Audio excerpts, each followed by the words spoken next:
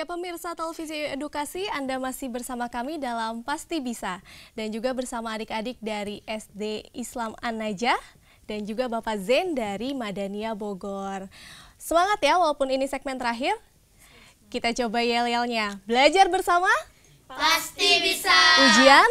Pasti lancar. Iya. Nah Pak Zen di segmen terakhir ini kita akan membahas tentang apa? Ya, segmen terakhir kita akan diskusikan, kita bahas tentang skala, Mbak ya. Baik. Tentang Iya. skala. Pak Zen dapat bersiap untuk menyampaikan materi. Oke, baik. Ya. Iya, dan saya ingatkan untuk adik-adik di rumah bahwa dapat bertanya secara langsung melalui layanan telepon interaktif kami di 0800 140 3046. Sudah siap Pak Zen?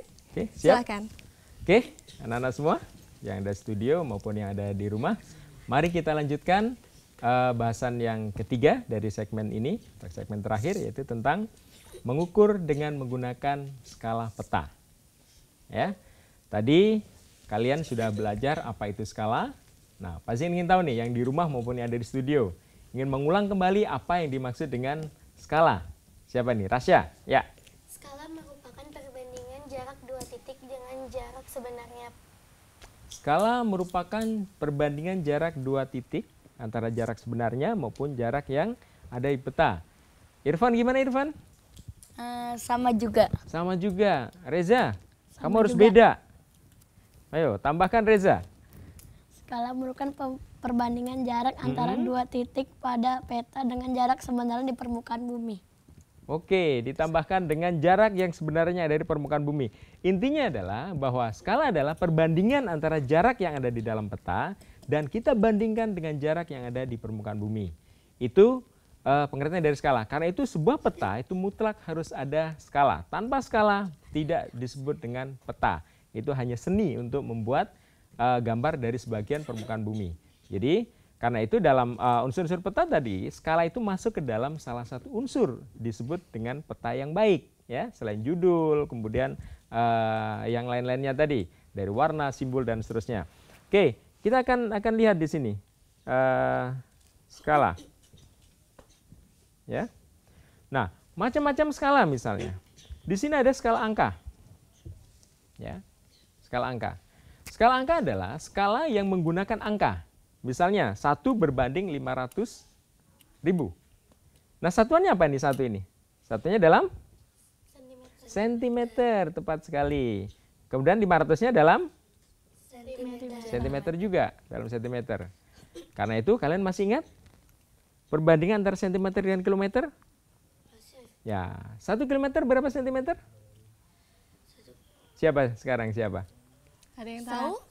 Eh, ratus ribu. Berapa? Seribu. 100 ribu. Jadi 1 kilometer sama dengan 100 ribu. Kalian simpan ini ya, bahwa 1 kilometer sama dengan 100 ribu sentimeter. Sentimeter. Kalian simpan. Kenapa? Karena ini akan digunakan untuk membandingkan jarak sebenarnya di lapangan dengan jarak di peta.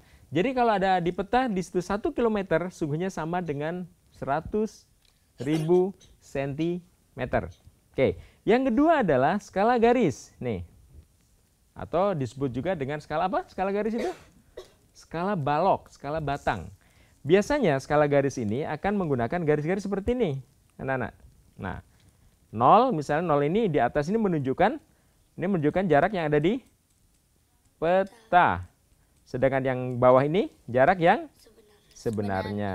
Sebenarnya. Ini yang ah, apa? Perbandingan yang atasnya menjadi jarak skala, yang bawahnya menjadi eh, jarak sebenarnya di lapangan. Yang terakhir adalah skala verbal. Skala verbal adalah skala yang menggunakan kalimat, menggunakan verbal, ya, menggunakan verbal. Misalnya di sini ada satu inci sama dengan satu mile, misalnya. Ini contoh. Ada biasanya, nah, ah, menggunakan satuan inci. Apa bedanya sekarang? Kalau skala angka biasanya menggunakan sentimeter, ya. Skala verbal biasanya menggunakan mile, biasanya menggunakan inci, ya. Kemudian kalau skala garis biasanya menggunakan kilometer dan sentimeter sama. Karena itu di Indonesia itu biasanya orang jarang menggunakan inci. Ya.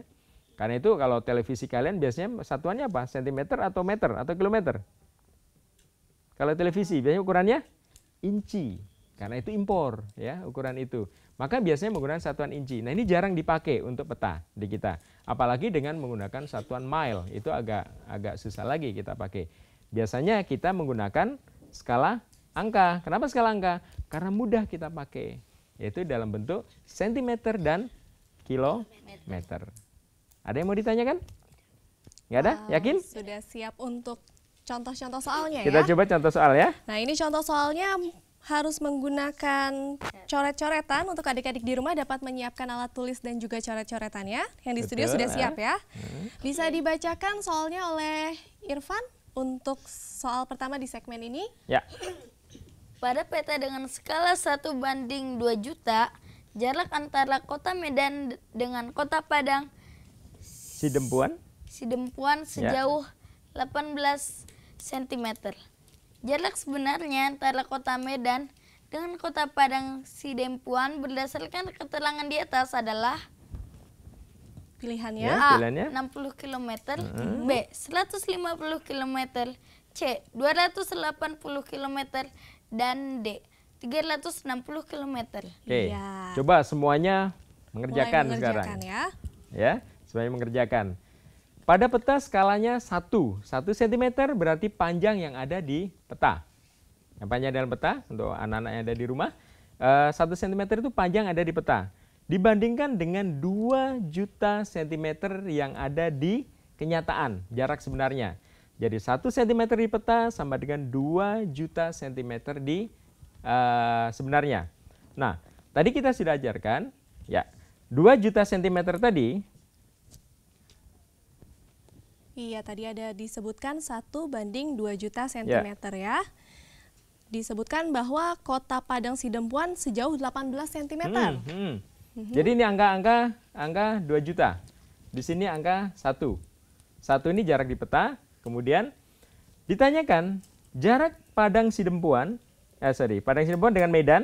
Ini dari sini, dari Medan sampai Padang Sidempuan di sini panjangnya 18 cm. Padahal kita tahu 1 cm-nya 1 cm-nya adalah 2 Dua juta. juta. Oke. Jadi berapakah panjang sebenarnya? Ada yang sudah selesai Ada yang menghitung? sudah selesai? Wow, Reza sudah Oke, selesai. coba ditunjukkan begini, Reza. Bisa ditunjukkan? Ah, Berapa Iya. jawabannya Reza? 360 km. 360 kilometer. kilometer. Oke, ada yang lain? Coba, Sama? yang Atau ada lain. yang beda? Irfan sudah?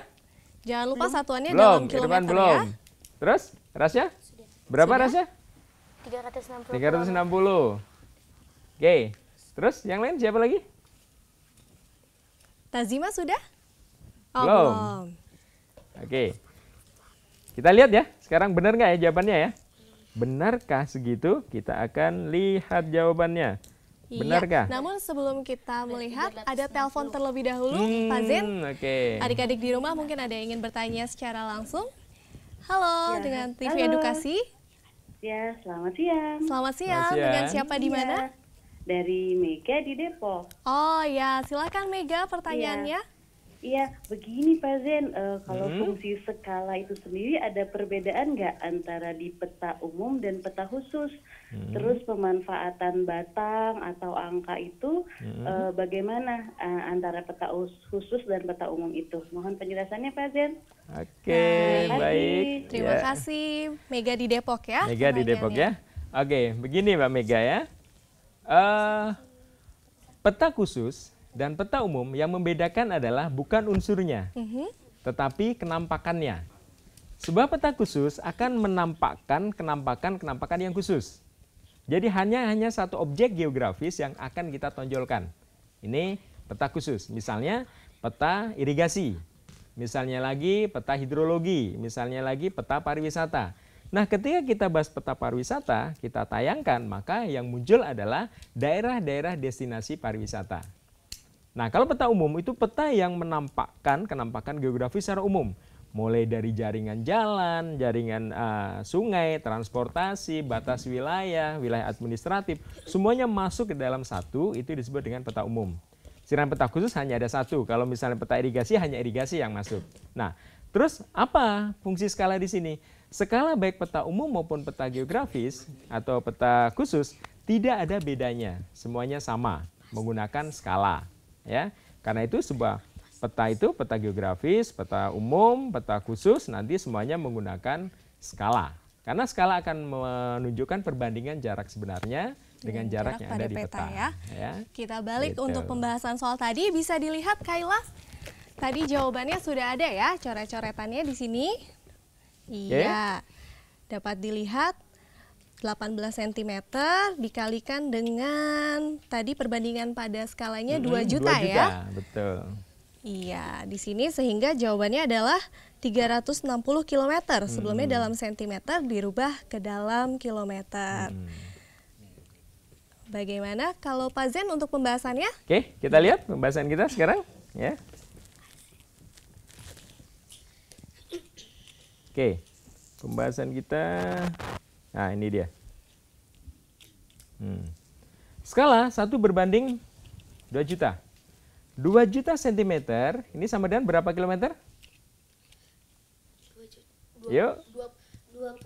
20 kilometer ya.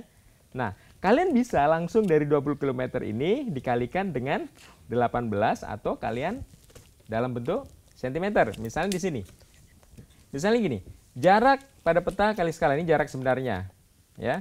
Kita lihat 18 cm dikalikan dengan 2 juta. Kita gunakan ini yang belum di, eh, diturunkan ke dalam kilometer ya.